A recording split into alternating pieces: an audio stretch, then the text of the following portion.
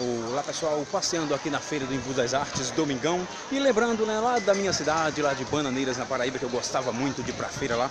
Lá a feira na sexta-feira. E a cidade vizinha lá, Solane, é no sábado.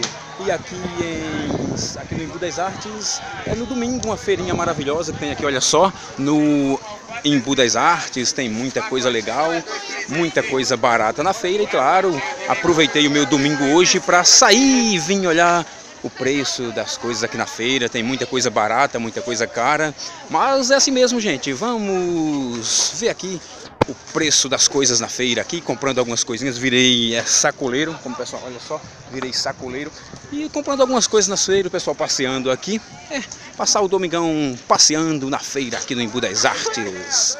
É isso aí, gente. Agora vamos passear e pesquisar o preço das frutas, verduras, legumes e muito mais aqui na feira no Embu das Artes.